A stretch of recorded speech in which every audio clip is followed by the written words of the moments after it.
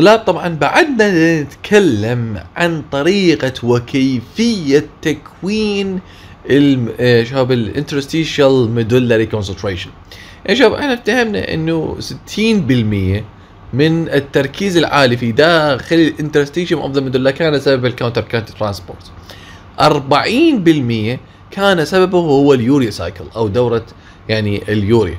خل أراجع وياك شباب دورة اليوريا في داخل النفرون. مثل ما وياك شباب نعرف إنه بعد فلترة اليوريا شباب سوف يتم امتصاص جزء من عدها في داخل ال proximal convoluted tubule راح تبقى 50% أو 40% من عدها تروح إلى داخل ال ascending limb. بعض الكتب شباب تقول 60% يعني 40% يتم امتصاصها و60% يروح عن طريق ال loop of Henle. يعني بعض المصادر والحديثة من عندها تقول 50% سوف يتم امتصاصها باستخدام proximal tubule و50% راح يروح إلى loop of Henle. شباب inside loop of Henle بناء هنا طلاب راح تصير عندك فد حالة. إنه أنت سوف يتم شباب امتصاص من الميدولا أو العفو يعني شباب من ال interstitium راح يتم امتصاص بعض من اليوريا. وهاي اليوريا شباب راح تبقى تسافر بالبداية راح تسافر. عن طريق ال ascending limb وكذلك ال distal convoluted tubule وال cortical collecting system شباب لو تباوعون على هذه الصورة وتركزون بيها بالسلايد الجاي راح تكون عندك أوضح هاي الصورة. شباب لو تلاحظون إنه هنا يعني شباب النفرون لونه فاتح. بهذا القطعة النفرون تشوفون شباب الحدود مالته لونها أطوخ. طلاب هذه الأجزاء. They are impermeable to urea. لا تسمح بمرور اليوريا. فاليوريا راح يبقى يتجمع ويزداد تركيزه في داخل النفرون. إلى أن ما يوصل طلاب إلى داخل ال collecting system in the medulla راح يجي دور ال ADH يقوم بسحب جزء من تلك اليوريا. شباب هاي اليوريا التي تم سحبها راح تروح ترجع من جديد لل interstitium. راح تزيد من تركيز ال interstitium. وراح طبعا شباب راح تصير على شكل يعني cycle راح تصير دورة. من جديد راح تشمل روحها يعني شباب خلينا نغير اللون. عفوا. من جديد شباب راح تشمل روحها إلى داخل النفرون وترجع من جديد يتم يعني طرح جزء من عدها والجزء الآخر يتم إعادة تدويره وهكذا. شوف هذه اليوريا التي تبقى في داخل ال interstitium هي بالحقيقة تزيد من تركيزه وتزيد من ال osmolarity مالته. فعليه طلاب countercurrent concentration of urea يوريا تساهم ب 40 ل 50% من ال osmolarity of the renal medullary interstitium. قلنا شباب countercurrent transport يساهم ب 60% بينما اليوريا تساهم ب 40% هاي الارقام ادق يعني شباب هي 40 إلى 50 بالحقيقة هي 40 when kidney is forming maximal concentrated urine since the thick ascending limb of loop of Henle, the convoluted tubule and cortical section of the collecting ducts are impermeable to urea. يقول لك شباب هذه الاجزاء ال thick ascending limb. زائد ال distal convoluted زائد ال cortical part ال cortical part of the collecting system. يعني جزء ال collecting system الموجود بال cortex هذين كلياتهن they are impermeable to urea لا تسمح بمرور اليوريا مثل ما تشوف شباب حتى لونها غامق. وصولا من يوصل اليوريا إلى ال distal أو ال medullary part of the collecting system هذا الجزء هو الوحيد اللي يسمح بعبور اليوريا. فعليه شباب اليوريا جاي يتم يعني نزيد التركيز مالته في هذه الأجزاء. مثل ما تشوف شباب جاي نزيد تركيزها كلش عالي يصير تركيزها هذه الأجزاء. حتى من توصل إلى ال medullary part يتم إعادة سحبها بتراكيز عالية إلى داخل ال interstitium. فعليه طلاب. اي دي اتش بالنسبة للاي دي اتش اللي هو antidiuretic hormone هو اللي دي هو اللي يخلي inner medullary أو inner medullary collecting system more permeable to urea هذا الجزء اللي هو بال medulla واللي هو الداخلي وكلش قريب شباب على يعني ال pelvis أو على نقطة خروج ال- الإدرار شباب. هذا ال medullary part of the collecting system جزء ال collecting system موجود بال medulla ال ADH يشتغل عليه يفتح بوابات ال aquaporin يطلع ويا المي يطلع شباب يوريا. مثل ما نشوف شباب هنالك بوابات اسمها UT urea transporter. أكو urea transporter A 1 urea transporter A 3 يعني ADH يقوم بسحبها تساعد في خروج الماء ويا يوريا.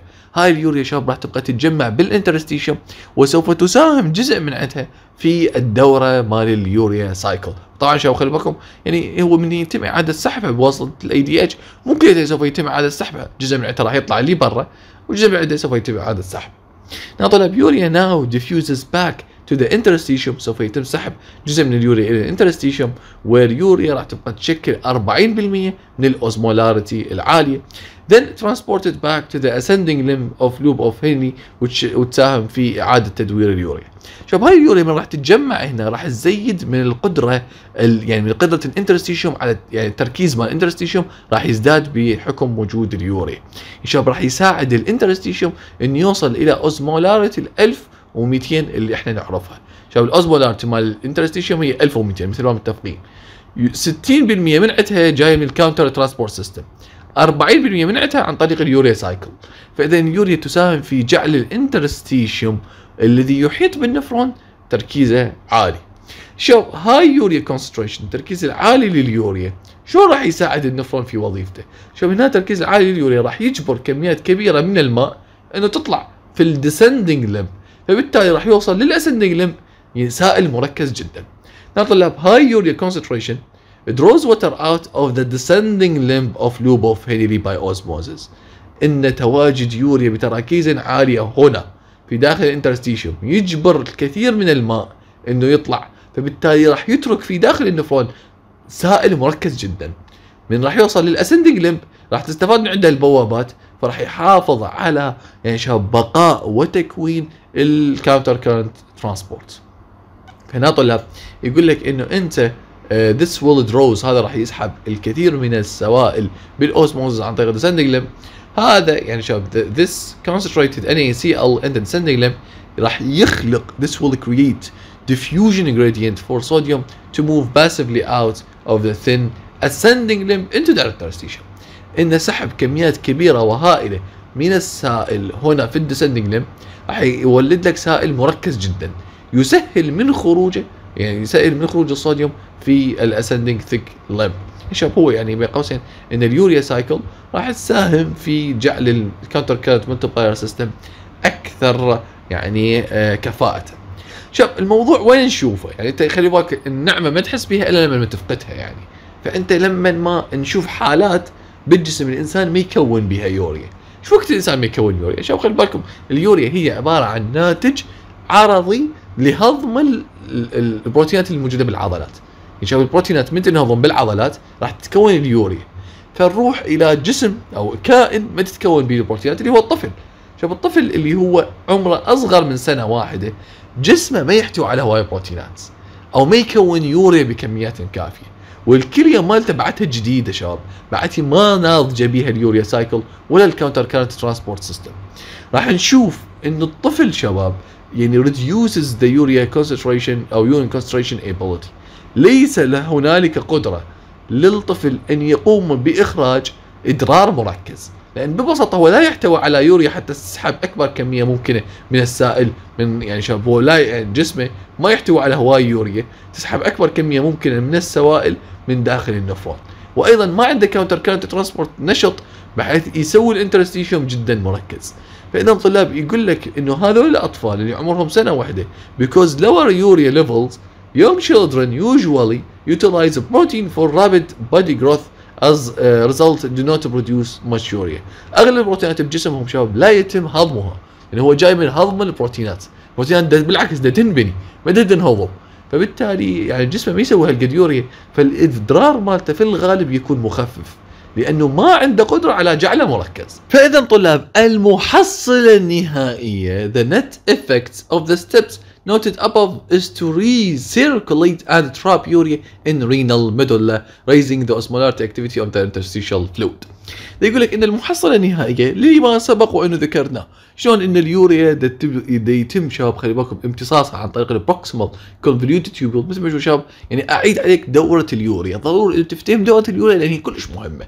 هي اليوريا أول شيء أهم مادة سامة نريد نتخلص من عندها وهي تساهم أيضا بال renal physiology. شوف شباب جد الكلية مالتنا عبقرية شوف العبقرية مالتها. يعني الد أعدائها هي السموم هي الكلية وظيفتها تخلص الجسم من السموم. يعني أشهر هذه السموم هو اليوريا. هي دا تستغله حتى تؤدي وظيفتها. يعني هي حرفيا دا تخلي الد أعدائها هو أقرب أصدقائها يعني. لذلك يا شباب هي ال renal physiology كلش مميزة. يعني حتى مميزه أكثر من ال neurophysiology شوف شباب اليوريا اللي هو المفروض إحنا نتخلص من عندها لأن هي ماده سامه الكليه تستغلها تسويها صديق لها يساعدها في إنجاز وظيفتها شلون يعني؟ هو هذه يوريا تفلترت. 50% من سوف يتم إعادة امتصاصها عن طريق ال proximal convoluted tubule إلى مجرى الدم. تبقى 50% بعض الكتب تبقى 60% ماشي. ملزمتكم تقول شباب 60% يعني. هنا طلاب إحنا راح نقوم بإعادة امتصاص الماء هنا. سوف يتم إعادة امتصاص الماء هنا فاليوريا يزداد تركيزه. هذا الجزء شباب هذا الجزء هو بالحقيقة impermeable. من نوصل إلى الجزء المتبقي اللي هو ال medullary part of the collecting system هو permeable وبمساعدة ال ADH سوف نقوم بسحب كميات كبيرة من اليوريا. هذه اليوريا شباب راح تتكون هنا راح تساعد بالمستقبل. يعني الدفعات الجديدة من السائل راح تساعد في سحب كمية أكبر وأكبر من الماء. باعتبار شباب إن هاي اليوريا راح تساهم في تكوين ال interstitium osmolarity إيش قد ال interstitium osmolarity 1200 شباب خلي بالكم يعني ال osmolarity اللي موجودة مال ال interstitium هي 1200 مثل ما قلت لك شباب ومثل ما حكينا يعني خلينا نقول إنه 60% من عندها يتكون عن طريق ال countercurrent transport 40% من عندها يتكون عن طريق اليوريا. شباب يعني ملزمتكم ما مطيها يعني جواب واضح. كل المصادر تقول هذا الرقم وهذا التصنيف وهذا الترتيب 60 ب 40 ملزمتكم شو تقول؟ يعني تقول 50 ب 50 معناها شباب بما إنه ال osmolarity اللي هي خارج الكلية هي 1200 نقدر نقول 600 يساهم بها اليوريا و600 يساهم بها ال يعني ال countercurrent transport يعني شباب ملزمتكم تقول 50 50 إنه وظيفة ال urea cycle تعادل وظيفة ال countercurrent transport لكن أغلب المصادر تقول لا 60 ب 40 يعني وحتى ملزمتكم شباب يعني ما مطيه جواب واضح مثل ما هسه راح تشوفون فهنا شباب يقول لك it contributes about half of the osmolarity و NaCl هو يكمل الباقي. يعني شباب إن دخول اليوريا هو يشكل نصف ال osmolarity مال ال interstitium والصوديوم أو ال countercurrent transport اللي جاي multiplier transport هو يشكل 50% الباقي. هنا طلاب ملاحظة رقم أولى. Not all urea is reabsorbed or trapped. مو كل اليوريا سوف يتم إعادة امتصاصها. جزء من راح يطلع اللي برا. In fact, because much of the nephron is only slightly permeable to urea, urea is concentrated in the tubular fluid as water is reabsorbed. شو يقول لك يعني أغلب أجزاء النفرون هي تسمح بعبور اليوريا. شو شوف أغلبه اللي هو ال proximal tubule descending limb جزء من ال ascending limb وال medullary يعني هذا يسمح بعبور اليوريا. الأجزاء اللي ما تسمح بعبور اليوريا شباب هي هذه.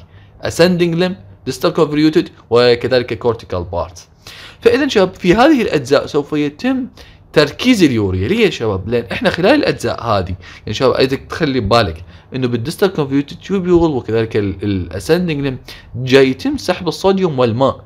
فالسائل اللي دا يوصل يعني خلي بالكم شباب السائل اللي دا يوصل هو مخلوط يحتوي على صوديوم بالإضافة إلى يوريا والكثير من المواد. فاذا هنا نقوم بسحب الماء من عنده ونقوم بسحب الأملاح من عنده باعتبار شباب هنا الماء والأملاح يتم سحبها وتبقى فقط اليوريا. فاليوريا سوف يتم إعادة تركيزها أو نزيد تركيزها في هذه الأجزاء ثم نقوم بسحبها مرة أخرى إلى داخل ال interstitium. نطلع يعني uh, during a water diuresis when a large amount of dilute urine is excreted urea does not become concentrated as the fluid is يعني collecting uh, in the collecting duct passes through the renal medulla شوف الانسان يقول لك اذا اخذ كميات كبيره جدا من الماء اذا تناول كميات كلش عاليه من المي هنا طلاب كميات كلش سا يعني عالية وسريعة جدا من السوائل جاي تسبح في داخل ال medulla. هذه السرعة العالية شباب ما تسمح لليوريا ما تنطي وقت لليوريا إنه يتم إعادة سحبها هاي نقطة كلش مهمة شباب. يعني يقول لك during water diuresis لما ما الإنسان يشرب كميات كبيرة من الماء فيطلع من جسمه واي باي a large amount of diluted urine is excreted راح يتم إخراج كميات كبيرة جدا من الماء المخفف أو الإدرار المخفف. Urea does not become concentrated as a fluid in the collecting duct passes through the renal medulla. يقول لك هنا اليوريا بعد ما تلحق يتم يعني تركيزها وإعادة سحبها. ما نلحق هذا راح شو يؤدي شباب. So not much urea diffuses in the interstitium. راح يؤدي إلى انه اليوريا ما تبقى تتجمع بال interstitium مال الكلي. معناها إن ال interstitium مال الكليه راح يتحول من 1200 إلى 600 باعتبار إنه خسر اليوريا مالته لأن اليوريا من اللحق نسحبها فراح يرجع إلى 600 هنا شباب هم ليش دائما ينصحون إنه الإنسان يشرب كميات كبيرة وعالية من المي ويأخذ كميات كافية من المي؟ لأن شباب تناول الماء بكميات كبيرة خلي بالكم شباب ضمن الرنج طبيعي ضمن مدى طبيعي. يعني الإنسان إذا أخذ تقريبا 6 لترات من ال من, ال من الماء بصورة طبيعية خلال اليوم شباب 6 إلى 3 والبعض ينصح بثلاث لترات أفضل من الستة. شباب هذا الرقم يعني 6 لترات إلى 3 يعني شباب الإنسان ياخذ خلينا نقول ثلاث أبطال كبار مال كبار لتر مال مي باليوم. يعني بصراحة شباب هذا يساعد الكلية على أن تتخلص من كل اليوريا. ليش؟ لأن أنت شباب ما تعطيها مجال لليوريا إنه تنتشر. فأنت نوعا ما تتخلص من ال interstitium واليوريا الباقيه من الجسم كليته هل هذا الشيء صحي؟ يقول لك شباب مو صحي صراحة. يعني إنه أنت تتناول كميات كبيرة جدا من الماء لفترات طويلة مو صحي. بس الصحي انه أنت تتناول كميات كافية من الماء بفترات المتقطعة. يعني شلون يعني؟ يعني أسبوع يعني مثلا كل جمعة من الأسبوع تتناول كميات زينة من المي. هذا الشيء يساعد اليوريا اللي بجسمك إنه تتكون في فترات معينة ويتم غسلها في فترات أخرى. هذا الموضوع شباب راح يقودنا لمفهوم آخر وموضوع آخر. أيضا يجب إنه نناقشه بعد أكثر. Patients on protein restricted diets. الأشخاص اللي هم عايشين على diet ما يحتوي على بروتينات أصلا. هنا طلاب مثل شنو يعني تقول لي؟ أقول لك مثل vegetarian هذول النباتيين يعني. هذول يعني ناس ما يأكلون لحوم فبالتالي ما يأكلون بروتين.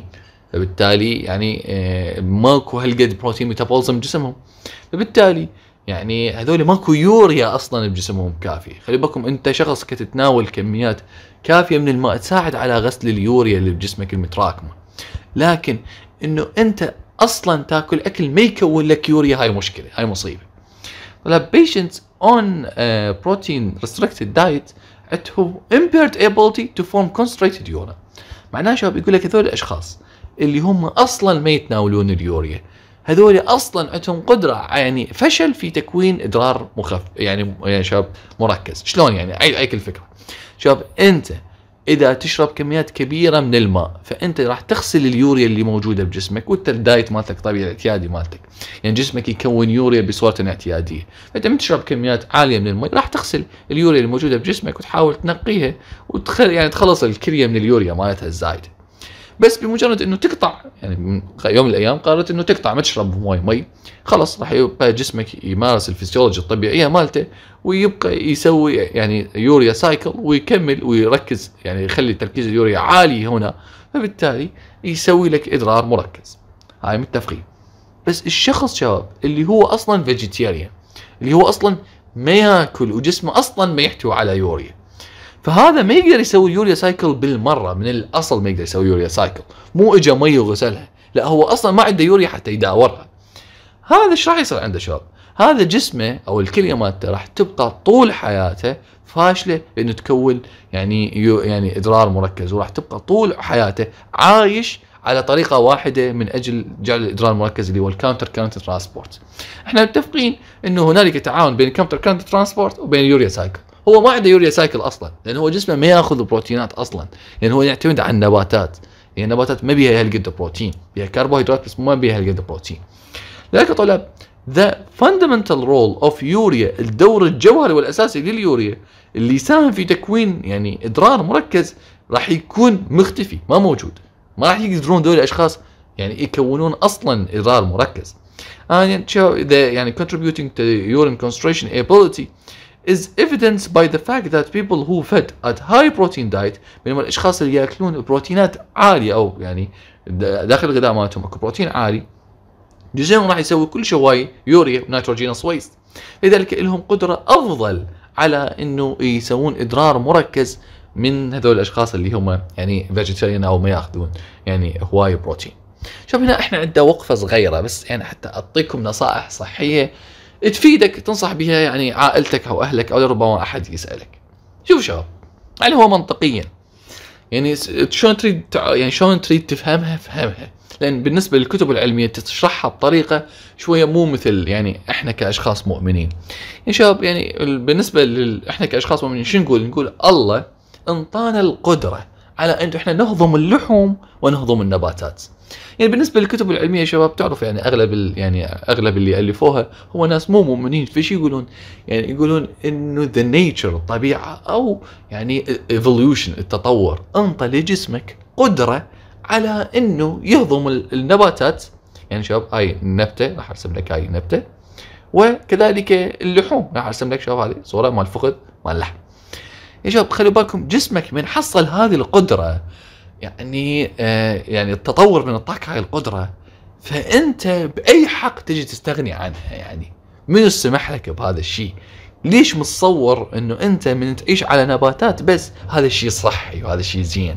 منو اعطاك هاي الفكرة ومنين سمعتها شباب بالحقيقة يعني ال vegetarian diet يعني إله تأثيرات كلش كبيره يعني كلش كبيرة يعني على جسم الإنسان. يعني اهمها هي هاي النقطة إنه يبقى يصير عنده فشل في إخراج إدرار آه، مركز. يعني باكر عقب هذا الشخص ال vegetarian إذا شمرته بالصحراء راح يموت قبل هذا الشخص اللي ياكل لحوم. يعني ببساطة شباب evolution تطور انطاك قدرة يعني عالية على إخراج إدرار مركز. انطاك قدرة تطوريه انطاك يعني شباب ميزة أنت بأي حق تتخلى عنها؟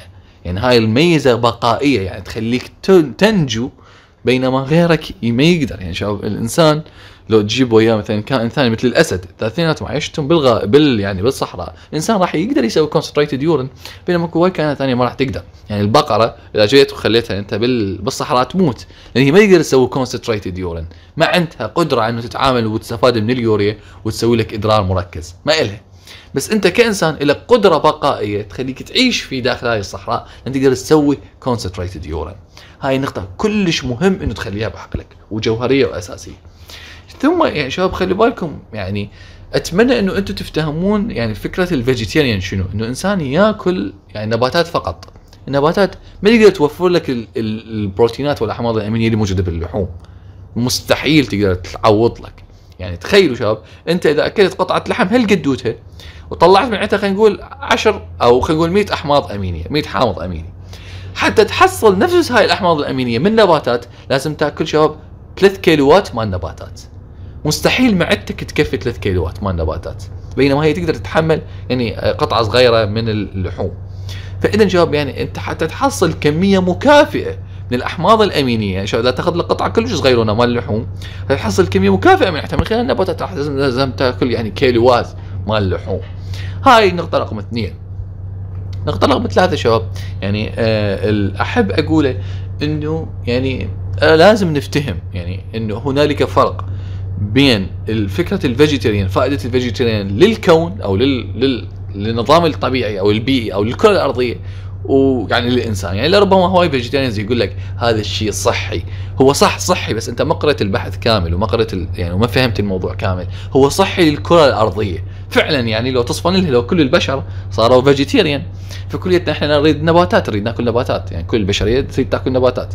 فلازم علينا نزرع الكرة الأرضية كليتها نباتات وأشجار وخضروات وتصير الكرة الأرضية مليانة يعني نباتات ويروح الاحتباس الحراري وتصير الحياة حلوة وجميلة ولطيفة. صح يعني إنه إذا كل البشر صاروا vegetarian الكرة الأرضية راح يتم إنقاذها. بس مو معناها إنه صحة الإنسان راح تكون زينة. لا بالعكس صحة الإنسان ما راح تكون بأفضل حالاته. يعني شباب بالضبط وكأنه أنت تروح تجي للأسد تقول له يابا يا أسد يا لطيف يا جميل أريدك تصير نباتي. الأسد راح يقول لكم يلا صار راح أصير نباتي. الغزلان راح تفرح الغابة راح تفرح لأن ما حد راح يجي يأكلها. يعني الكرة الأرضية صح راح تفرح بس هو كأسد يأكل نباتات ما راح يقدر يكمل حياته ما يقدر يعيش. هذه يا شباب الفكرة العامة بال vegetarian حبيت أعطيكم هاي المعلومات حتى تخلوها بعقلكم وتفيدكم. وإذا واحد من عندكم طبعا vegetarian ودا يسمع كلامي فنصيحتي له خليه يروح يطلب له لفة شاورما على حسابي وألف عافية.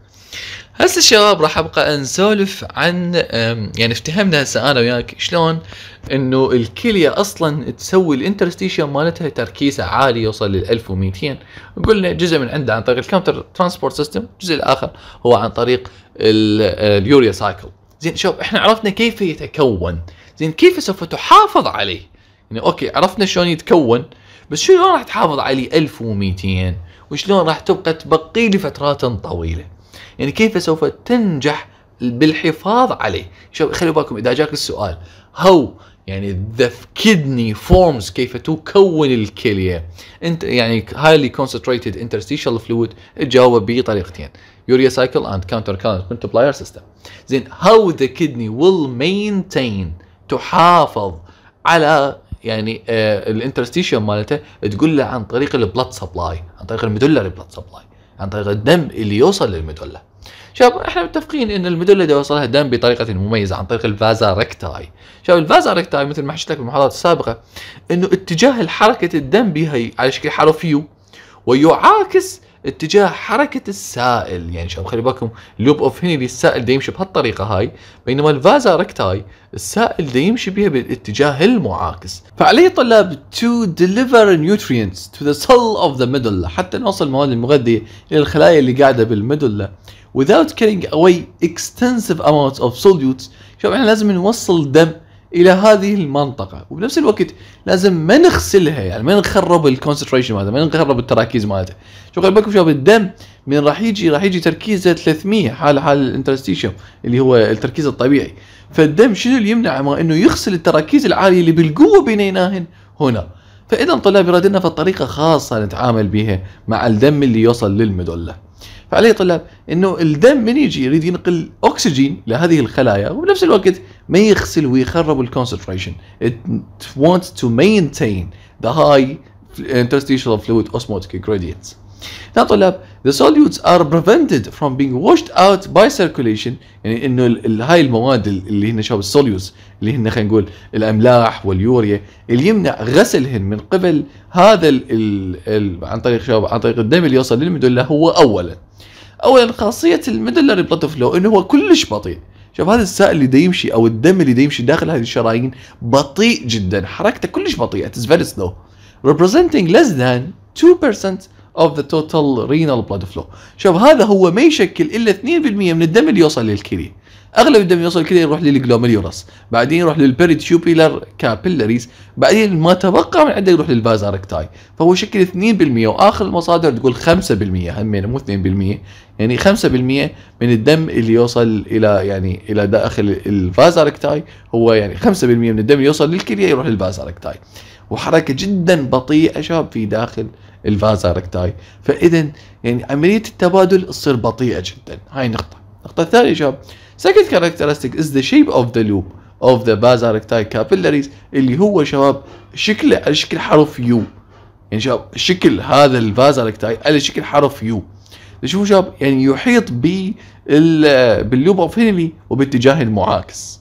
أيضا طلاب راح يكون parallel راح يكون يعني موازي opposite ومعاكس لحركة السوائل في داخل ال loop of Henle much fluid and solute exchange occur between the medullary interstitium fluid and vasa recti in both directions شوف راح يصير إن هنالك تبادلات بين ال interstitium وبين شباب ال interstitial fluid وبين ال blood بالاتجاهين هنا وهنا.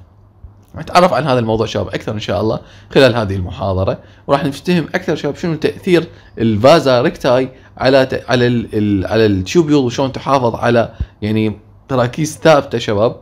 هذا الموضوع يعني شوف هاي العملية إنه شلون كيف نحافظ على تراكيز ثابتة من ال interstitium نسميها شباب counter current exchanger وليس counter current multiplier شوف عملية تكوين الجلوكوز العفو عملية تكوين الإيونات هنا عملية تكوين الصوديوم هنا يسموها counter current multiplier لأن إحنا نضاعف في كل دورة.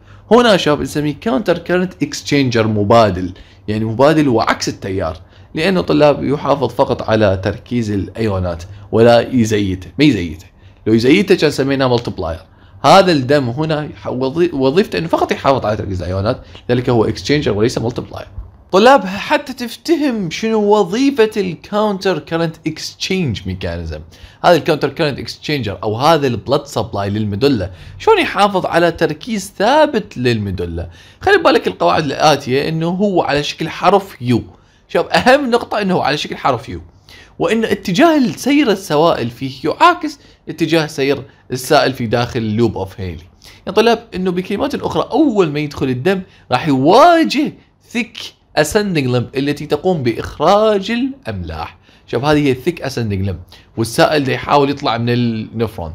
لكن الدم هسه تو دخل إلى داخل ال medulla يعني شباب خلي بالكم ال thick ascending تقوم بإخراج كميات كبيرة من الأملاح. بينما هو يطلع من ال medulla ويواجهه اللي قابله شباب هو ال descending limb أنا وياك نعرف ال descending limb هي تقوم بالتخلص من الماء. فهنا شباب استود يطلع الدم من داخل ال medulla شوف أحكي لك القصة بكلمات بسيطة جدا وبمختصر يعني عالي. الموضوع ما بي إنه أول ما يدخل الدم شوف الدم أول ما يوصل إلى داخل ال medulla راح يقوم بسحب الأملاح. لأنه هو أول ما يدخل راح يواجهه the thick ascending limb راح يقوم بسحب تلك الأملاح يسحبها إلى الداخل إلى داخله فيزداد التركيز مالته. من يريد يطلع من ال medulla سوف يتم التخلص من الأملاح ويسحب مكانهم مي. فإذا شباب خلي بالكم هو ما راح يغير يعني ابدا ما راح يغير تركيز الأملاح. الأملاح راح يبقى تركيزها ثابت مجرد نقلهم من هاي القطعة من هذا الجزء وخلاهم هنا. بس راح يسحب كميات عالية من المي راح يساعد في سحب الماء. هذا المي راح يسحبه بكميات كبيرة فبالتالي نوعا ما هو يخلص الميدولا من الماء ويحافظ على تركيز الأملاح فيها ثابت. فبالتالي نوعا ما شباب هو يحافظ على ال concentration of the interstitium شلون؟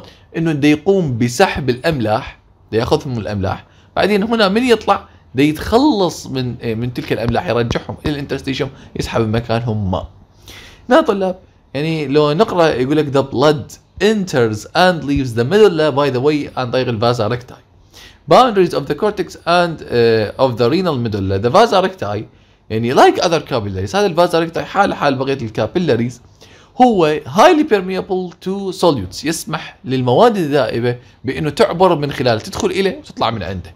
طلاب the vasa recti like other capillaries are highly permeable to the solutes in the blood. يقول لك ان ال vasa recti حال حال بقية ال capillaries يسمح بدخول المواد الذائبة ال solutes الأملاح يعني بحرية لكنه لا يسمح بمرور ال plasma proteins الألبومين وغيرها طلاب as blood descend into the medulla towards the papillae كل ما ينزل الدم باتجاه حافة أو طرف ال renal pyramid اللي اسمه papillae it becomes progressively more concentrated الدم شوف كل ما يفوت هنا كل ما الأملاح تدخل إليه. يعني شوف خلي بالكم الدم يوصل بتركيز 300 بينما هنا التركيز مال الأملاح عالي راح تبقى الأملاح تهاجر إلى مجرى الدم. نطلب they يعني it becomes progressively more concentrated partly by solutes from the interstitium and partly by loss of water into the interstitium. راح يكون الدم هنا مركز أكثر. جزء لأن الأملاح دا تروح إليه. جزء آخر هو دا يغادر جزء من الماء. By the time of the blood reaches the tip of the vasa recti من يوصل الدم إلى قمة الفازا recti. شوف إلى قمة هنا يعني هاي القمة النهائية the tip of the loop of Henle راح يكون تركيزه 1200 حال حال الانترستيشيوم. هنا شوف راح توقف عملية التبادل. ثم هنا سوف يتم يعني عكس عملية التبادل. نشوف هنا قمنا بسحب الأملاح إلى داخل البلد فيزل وقمنا بالتخلص من الماء بكميات قليلة. هنا طلاب بالعكس راح نطرح الأملاح ونقوم بسحب الماء. فبالتالي هذه عملية التبادل شباب لا تقوم بغسل ال solutes إنما تحافظ عليها. فإذا شباب يقول لك إنه أنت uh, by the by the time that reaches the tip of the vasa recti it has concentration of about 1 ها يعني شباب 1000 to 100 ملي اوزمول بير لتر واللي هو نفس ال medullary interstitium زين. من يبدأ الدم يصعد خلي بالكم هو يتزامن. صعدة الدم تتزامن ويا ال descending loop of Henle as the blood يعني ascends back to the cortex اللي يصعد من جديد لل cortex it progressively less concentrated as solutes diffuse back into the medullary interstitium. من هو يصعد؟ شباب الأملاح تبقى ترجع من جديد لل interstitium ويقوم بسحب الماء اللي خسره من هذا الجزء. It becomes progressively less concentrated as solute diffuse back into the medullary interstitium and as water moves back to the vasa recti شوف هنا استلم املاح وخسر ماء هنا بالعكس سوف يخسر املاح ويستلم الماء فالمحصله النهائيه هي ثابته الناتج النهائي هو ثابت محافظ عليه فلذلك شباب هنا thus although there is a large amount of fluid and solute exchange across the vasa recti there is little net dilution of the concentration of the interstitial fluid. يقول لك رغم إن هنالك كميات عالية للتبادل راح نلاحظ إن ال vasa recti نوعا ما يقوم بتخفيف بسيط جدا بسيط لل interstitium شوف هذا التخفيف البسيط يعني خلينا نقول هو ياخذ من الأملاح ذني 50 شوف شوف يعني ياخذ 50 كمية جدا بسيطة. لو هسه أشوفك صورة ثانية. شوف شباب يعني هذه الصورة تشوفك إنه هو يدخل على شكل 300 milliosmole يقوم بسحب ال solutes بداية يسحب الأملاح ويتخلص من الماء في البداية. بعدين بالعكس هسه راح يبقى يقوم بسحب الماء ويطرد الأملاح. يعني شباب بداية الأملاح تدخل داخل مجرى الدم ويطلع من عنده المي. بعدين هنا بالعكس المي راح يرجع إلى مجرى الدم ويطلع من عنده الأملاح. شباب هو بصراحة جاي ياخذ أملاح بكمية قليلة. جاي شوية ياخذ أملاح من 300 ل 350 فبده يسوي تخفيف ولو بسيط إلى داخل ال interstitium. شوف هذا التخفيف البسيط يحافظ على ال interstitium نشط. يعني شوف يحافظ عليه يعني هو مو 1200 ياخذ من عنده 50 حتى يحافظ عليه دائما فعال دائما يحاول يعوض هذا ال 50 شوف يقول لك يعني أنت تخيل لو أنت مثلا يعني ما تتمرن فأنت عضلاتك ما راح تكبر. فلذلك يا شباب هو بالضبط يعني هذا ال counter current exchange ده يسحب 50 من ال interstitium يحفزه على الاستمرار. يحفزها على إنه تستمر وتبقى تحافظ على ال counter exchange multiplier يشتغل. شباب خلي بالكم السحر كليته والفائدة كليته ترجع لشكل ال vasa recta على شكل U shaped هو لأن هو U shaped هنا ده يقوم بامتصاص الأملاح ويطرح الماء. هنا ده يعكس هاي العملية. يقوم ب يعني طرح الأملاح وامتصاص الماء. لو كان شكله مستقيم شباب راح يقوم بغسل راح ياخذ الأملاح ويروح إلى مكان آخر. شباب تخيلوا لو كان أنت عندك شريان مستقيم راح يبقى يسحب الأملاح وياخذها إلى مكان آخر ما راح يرجعها. فإذا شباب شكله اللي هو على شكل حرف U هو الذي ساهم في وظيفته في الحفاظ على ال counter current exchange يعني شباب يعني حرفيا هو اللي يصير شنو؟ إنه أنت يعني لأن شكله على شكل حرف U يقول لك there is a little net diffusion concentration of the interstitial fluid راح نحافظ عليه ثابت آه، بسبب ال U shape of the يعني آه، يعني of the vasa recta شوف خلي بالكم إحنا ليش أصلا سوينا يعني هذا ليش أصلا ودينا دم إلى داخل المدلة؟ إحنا شو نريد؟ خلي بالكم إحنا نريد نحافظ على تركيز ثابت للانترستيشن بس نوصل دم لهذه الخلايا. هو شباب اولا حركة مال الدم هنا في داخل هذه الشرايين بطيئة جدا جدا بطيئة. فتسمح بالتبادل على كيفه براحته. نوصل أكسجين لهذه الخلايا وبنفس الوقت لأن شكله على شكل حرف U ده يستلم وده يخسر بنفس الوقت. فاذا ما راح يسوي لك أي تأثير على ال interstitium وده يؤدي وظيفته وده يوفر الأكسجين المرغوب. يعني شباب أعيد عليك الفكرة. تخيل وياي إنه أنت عندك دم يمشي ببطء جدا. هذا الدم ده يوفر أكسجين وبنفس الوقت ده يقوم بتبادل الأملاح والماء. بعدين يخسر هذه الأملاح والماء يعني يخسر اللي سواه بهذا الجزء فبالتالي راح تبقى المحصلة النهائية هنا يعني الأملاح وتركيزها ثابت لكن تم تغذيتها بالأكسجين. وهذه هي الوظيفة النهائية لل counter current exchange mechanism وليس counter current multiplier mechanism. In counter current exchange in the vasa recta, plasma flowing down. The descending limb of the vasa recta uh, becomes hyper uh, أو hyper osmotic. شباب خلي بالكم الدم اللي دا يمشي هنا وهو نازل دا يصير hyper osmotic تزداد ال osmolarity مالته. لأن كميات عالية من الأملاح تدخل إلى داخل. راح يكون شباب hyper osmolar because of the diffusion of water out and diffusion of solutes uh, يعني uh, from the renal interstitial fluid into the blood. إن شاء الله راح يكون هذا الجزء مركز هذا الدم راح يكون مركز. لأسباب أهمها إن الأملاح جاي تدخل إلى داخله وبالعكس المي يطلع اللي برا. هذا جانب. جانب آخر شباب يقول لك in the ascending limb the vas erecti the solutes diffuse back into the interstitium. هنا بالجزء اللي يصعد الأملاح راح تطلع اللي برا والمي راح يدخل إلى الداخل. لذلك طلاب كميات كبيرة large amount of solutes will be lost of the renal medulla without the U shape of the vasa recti capillaries فهنا شباب numerical value are in milli in, milliosmol per liters طلع يعني ده أنا مثل ما شرحت لك يقول لك انه انت ببساطه لو ما ال U shape يعني بعد ما راح تقدر آه، تؤدي وظيفه ال counter current exchange mechanism إنما شباب إذا كان على شكل مثل ما تشوفوني يعني على شكل حرف I خلينا نقول راح يقوم بأخذ الأملاح والماء ويروح يوديها إلى مكان آخر. بينما لأن هو على شكل حرف يو ده يأخذها منه وده يرجع ينطيها بهالجهة هذه. فهذه هي الفكرة العامة شباب من عنده. The net result النتيجة النهائية المحصلة النهائية the is that the blood has both nutrients to the cells. إنه هنا الدم وصل المواد المغذية والأكسجين للخلايا بدون ما إنه without carrying away excessive amount of solution بدون ما يغسل هاي المنطقة ويخرب الأيونات اللي بدي اللي بيها. الحقيقة شباب هو ياخذ كمية جدا بسيطة من الأيونات. تقريبا يعني شباب السائل اللي يطلع أو الدم اللي يطلع هو 350 milliosmole واللي يدخل هو 300 هذا الفرق هو 50 بالعكس هذا يشجع على الحفاظ على ال counter current. mechanism. طلاب ركزوا وياي كل زين على التساؤلات اللي سألناها في بداية هذه المحاضرة وشلون إحنا بدنا نحلها في نهاية هذه المحاضرة. سألنا السؤال رقم واحد. كيف يمكن للنفرون أن يكون ال interstitium مالته 1200 شلون أعلى من ال يعني النورمال concentration أو ال normal osmolarity مال البلازما بأربع مرات؟ قلنا البلازما الطبيعية 300 هذه ال interstitium هو أعلى من الطبيعي بأربع مرات. بعد صار 1200 كيف استطاع تحقيق تلك الحالة؟ قلنا الجواب على تلك يعني على هذا السؤال إنه بطريقتين. يعني شباب خلي بالكم آه، هو صار 1200 بطريقتين. 60% نتيجة لل counter current يعني sodium transport أو multiplier counter current multiplier و40% هو عن طريق اليوريا.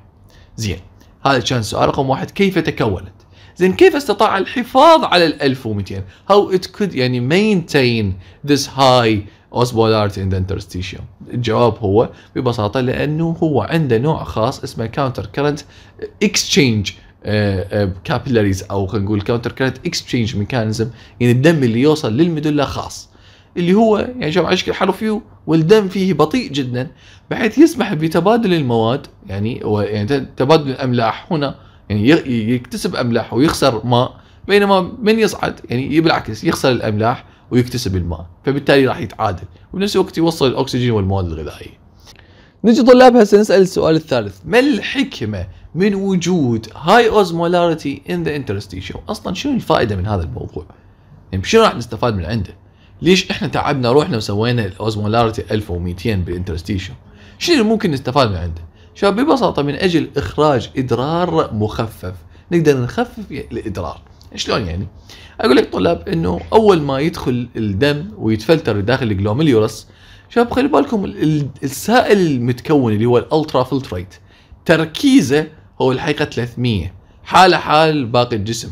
شباب يعني الدم هو تركيز البلازما ب 300 فاذا ال ultra filtrate أيضا 300 لاحظوا لي شباب فرضوا وياي إنه تم فلترة 10 لتر. 10 لتر من الماء و10 جزيئات من الصوديوم. شباب خلي بالكم يعني هنا راح نقوم بفلترة كمية معينة من الصوديوم والماء.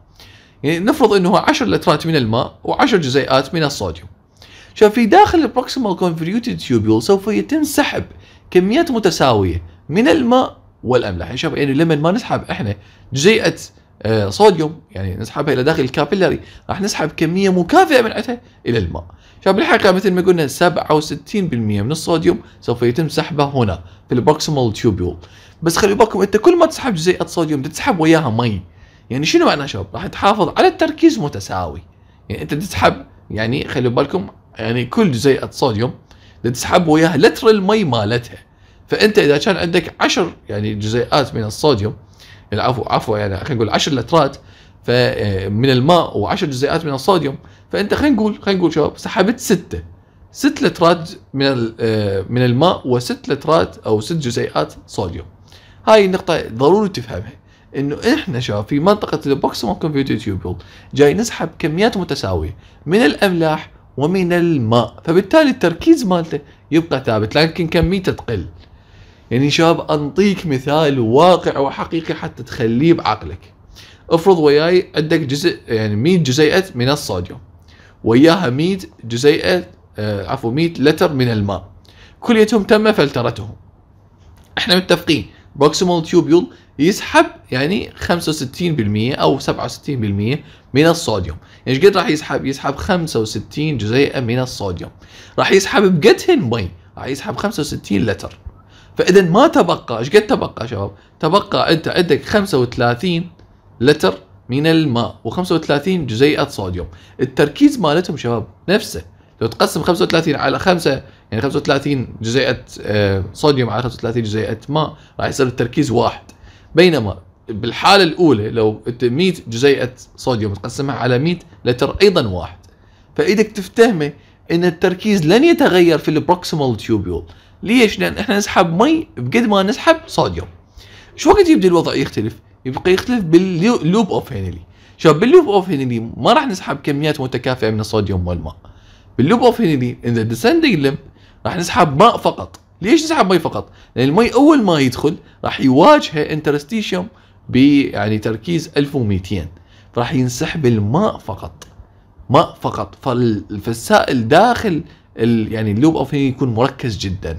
راح يوصل التركيز مالته في داخله إلى 1200 من يرجع يصعد مرة ثانية هنا طلاب راح نقوم بسحب صوديوم فقط. فلذلك خلي بالكم راح ينخفض تركيز السائل. خلي بالكم شوف هنا المي سحبنا فصار التركيز مالته عالي. هنا راح نبقى نسحب صوديوم. هنا شوف عملية سحب الصوديوم في هذا الجزء في الأسندنج لمب هي تعتمد على رغبة الجسم. حسب الجسم وحسب احتياجه. إذا الجسم يريد يسحب هواي فشوف شوف مرات يعني نسحب صوديوم نسحب نسحب صوديوم لحد ما إنه السائل اللي يطلع يصير 100 يعني هو دخل 300 طلع 100 فمرات لا إنه الجسم يعني ما يريد يعني ينزل التركيز بهالطريقة هاي. شوف يعني هنا في هذا الجزء سوف نتحكم في تركيز السائل اللي يطلع. فعلي طلاب لو إحنا نقرأ هنا as the fluid يعني flows through the proximal tubule solutes and waters are reabsorbed in equal proportion. راح نسحب كميات متكافئة من الأملاح والماء. فراح يكون يعني so little change to the osmolarity. Osmolarity ما تتأثر هواي. لأن أنت تسحب أملاح وماء بصورة متكافئة.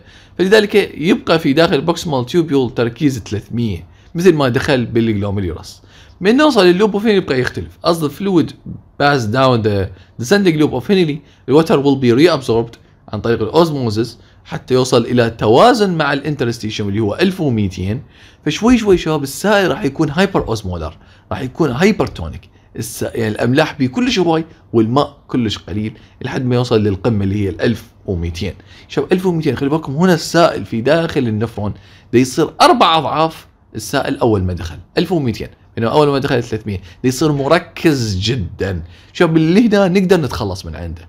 بس هنا نعتمد على ال thick ascending limb حسب احتياجه شباب. هنا ال thick ascending limb يعني هل هو يتحسس وال macula densa؟ هل تتحسس الجسم شو يريد؟ يريد ادرار مخفف لو ادرار مركز. يعني نطلب يعني نقدر نسوي ادرار مركز جدا ونطرحه مباشرة أو نقدر نخففه مرة أخرى ونطلعه مخفف. لذلك طلاب therefore the tubular fluid becomes more concentrated as its flow into the inner medulla. كل ما يدخل إلى ال inner medulla راح يكون مركز جدا. من يبقى يصعد شباب هنا راح نبقى نعتمد على ال thick segment راح يبقى ال thick segment هنا تقوم بسحب الصوديوم والكلور والبوتاسيوم. فبالتالي شباب this portion of tubular segment is impermeable to water. ما يسمح بدخول الماء. راح يقوم بالسحب فقط الأملاح. لذلك يا شباب ممكن إنه يسحبها بكميات عالية ويزيد يعني العفو يقلل تركيز هذا السائل الذي تبقى ويرجعه للمية. يعني شباب تعرفون إيش قد 100 100 اللي هو ثلث. ممكن يوصلها للمية اللي هو الثلث اللي أصلا دخل داخل ال glomeruli Thus the fluid leaving the early distal uh, tubular uh, segment is hypotonic. لذلك شباب هذا السائل يروح لل distal tubule هو hypotonic يحتوي على يعني شباب كميات عالية من الماء وقليلة من الأملاح.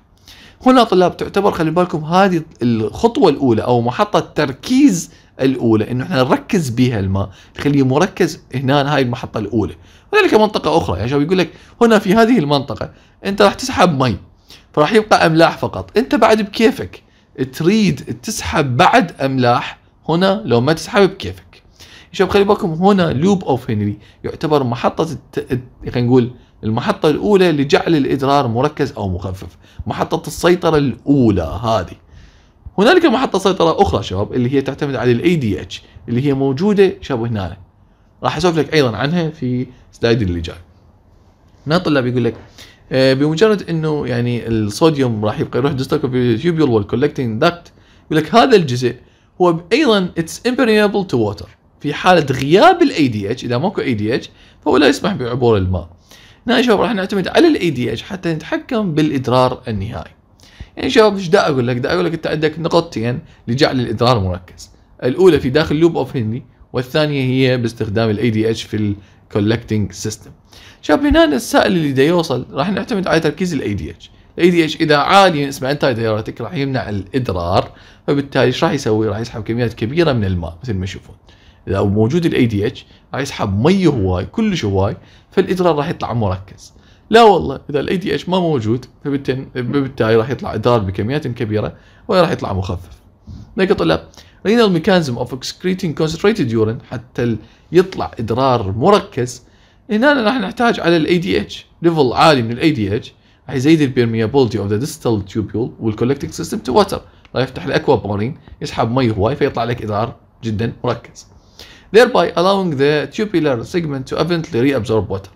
then this, uh, the signal uh, that tells the kidney whether to excrete diluted or concentrated urine is hormone called antidiuretic hormone أو الفازوبرسين شوف الفازوبرسين هو اللي يحدد هل نقوم بامتصاص المواد أو امتصاص الماء أو إخراجه. شوف هو اللي يحدد إنه نطلع إدرار مركز لو مخفف.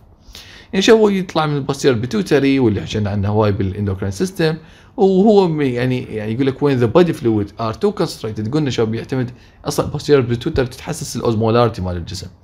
إذا ال osmolarity عالية يعني كل هواي أكو أملاح راح يبقى ينفرز ال ADH حتى يسحب أكبر كمية ممكنة من الماء فتقل ال osmolarity. إذا بالعكس ال osmolarity تكون قليلة يعني الجسم يكون مخفف.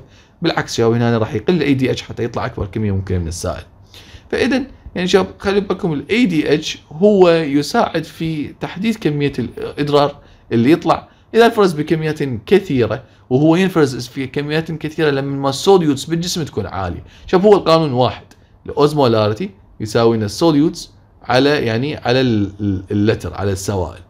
إذا شباب يعني ال osmolarity راح تكون قليلة مال الجسم معناها ال solutes تكون قليلة والسوائل عالية هنا ما راح نطلع ال ADH ما راح نفرز ال ADH لأن طلاب ما نحتاجه ببساطة. يعني أعيد لك الفكرة شباب. أنت تخيل وياي ال osmolarity قانونها هو اس على ال أنت اذا الجسم عندك بي solutes قليلة. يعني كل وايد solutes يعني كل شيء قليل solutes بجسمك. يعني كمية أملاح قليلة وسوائل كثيرة. أنت هنا لا تحتاج إلى ال ADH لأن ال ADH وظيفته إنه يزيد لك ال ال السوائل. شوف من اسمه anti diuretic يمنع الادرار معناها بده يسحب سوائل. فبالتالي أنت هنا راح تق... يعني ال posterior pituitary راح تقلل من إفراز ال ADH بس لو كانت الحالة بالعكس. شوف لو كانت كمية الأملاح هواي يعني الإنسان مثلا عطشان ما شارب أي ماء في حالة الصيام أو يمشي بصحراء وال solutes بجسمه كلش عالي والامل والماء جدا قليل. يقوم بإفراز ال ADH من أجل إنه يزيد ال يعني شوف ال ADH راح يزيد الماء اللي يدخل للجسم يزيد السوائل وبالتالي يرجع ال osmolarity لما كانت عليه. شوف هذا الموضوع تقدر تراجعه أيضا في داخل ال endocrine system. اللي أريدك تفتهمه إنه وظيفة يعني شوف وظيفة ال high concentration اللي هنا موجود مال ال interstitium انه يوفر لك إدرار مثل ما شوف مخفف.